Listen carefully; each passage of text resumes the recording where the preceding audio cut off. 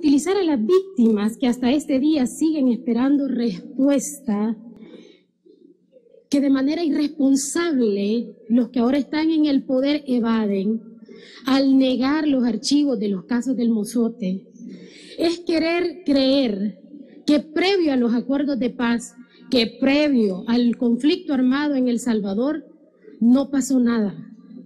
En El Salvador se vivieron periodos de muchas violaciones a los derechos humanos, gobiernos de corte dictatorial que asesinaban y callaban a los que se atrevían a pronunciarse en contra de ellos. No querramos utilizar a las víctimas de esta manera. Mejor respondámosles. Abramos los expedientes del mozote. ¿Por qué se negó en su oportunidad que el juez tuviese acceso a esos archivos? Que esconden también. Debo decirles que no es cambiándose de camiseta que se van a arreglar las cosas en el país. Hay muchos que fueron del FMLN y que hoy visten la camisa celeste. Creen que con eso ya se les quitó. No, no engañen a la gente. La esencia la siguen teniendo y lo demuestran con esos discursos de odio, revictimizando.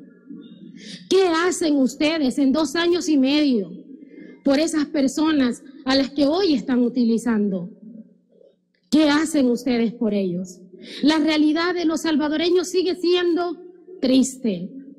Así como dicen que el FMLN dio esperanzas a la población, yo quisiera que le preguntaran a los que antes fueron colonos y que gracias a los acuerdos de paz hoy tienen una parcela y son dueños de su vivienda, si los acuerdos de paz no son nada. Ustedes que hoy están en este pleno legislativo, ustedes, pueblo salvadoreño, que fueron a votar de manera libre, es gracias a los acuerdos de paz, porque con los acuerdos de paz nace el Tribunal Supremo Electoral. Con los acuerdos de paz se sientan las bases de una democracia. Por eso es que hoy El Salvador vive la realidad que vive. No podemos renegar de nuestra historia. No podemos hacer borrón y, cuenta nueva como que si aquí no ha pasado nada. Aquí siguen esperando las víctimas del mozote. Alguien decía que no va a llorar lágrimas de cocodrilo, pero sí va a ser promesas vacías que hasta este día no se han cumplido. Yo quisiera hacerle un llamado a la población.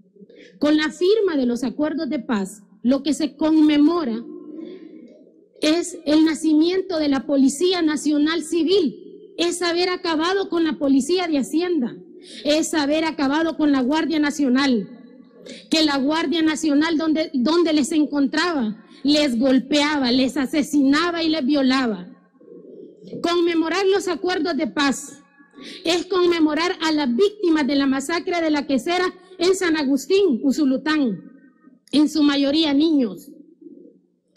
Es conmemorar la masacre del Mozote, que dicho sea de paso, ustedes tienen de embajadora a la nueva, a la nuera del actor intelectual y material de la masacre del Mozote. No le engañen a la gente, no le mientan.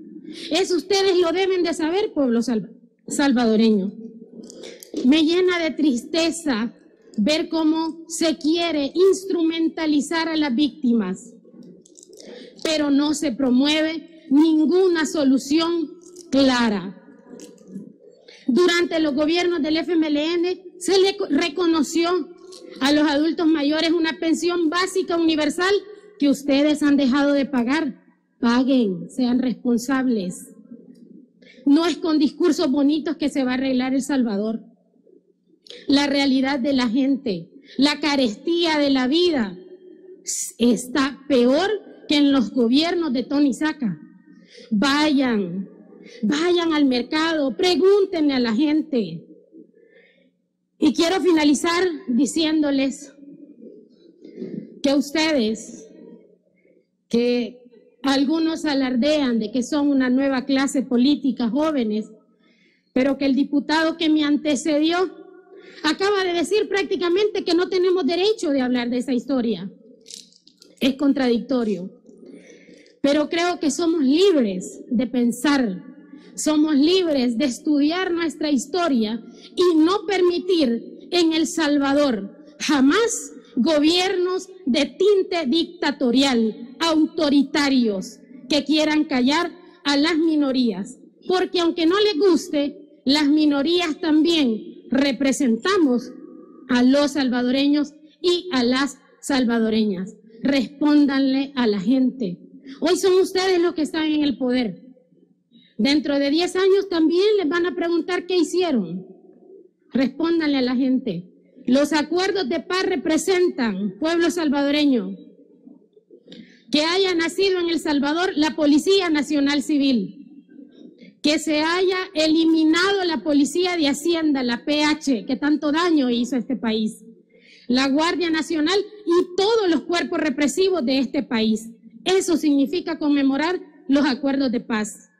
Conmemorar los acuerdos de paz significa de que hoy usted, de manera libre, democrática y soberana, pueda salir a votar y elegir a sus gobernantes y tener la dicha de cambiarlos cada tres años a los alcaldes y a los diputados y cada cinco años al presidente. Eso se logró con la firma de los acuerdos de paz y que estamos a punto de perder si El Salvador lo, permite. Mi mensaje va para las familias salvadoreñas que vivieron el conflicto armado, pero que vivieron antes del conflicto armado y que fueron colonos en grandes haciendas y que no podían ni siquiera tener un pedazo de propiedad y decir esto es mío con categoría. Y hoy saben que esas grandes haciendas fueron entregadas a los salvadoreños que hoy tienen sus propiedades y que las, y que las producen. Los campesinos, las campesinas.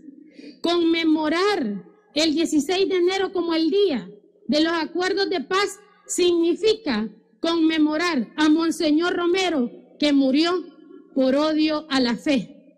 Porque el pecado grande de Monseñor Romero fue denunciar lo que consideraba él que no era correcto, pero al régimen de aquel entonces a la dictadura y al gobierno de aquel entonces no le convenía y fue callada su voz.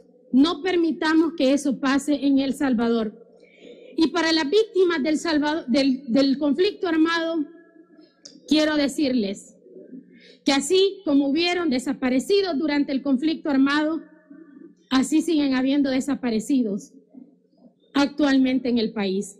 Siguen madres llorando, siguen padres llorando, siguen hijos buscando a sus padres desaparecidos y que posteriormente son encontrados calcinados o envueltos en sábanas. Esa es la realidad que tenemos en el país. Y conmemorar los acuerdos de paz, pueblo salvadoreño, significa de que el gobierno en turno para estos cinco años y el próximo gobierno que pueda venir debe de estar obligado en garantizar, primero, la no, la no repetición de actos de barbarie, de abuso de poder y de autoritarismo y militarización en El Salvador.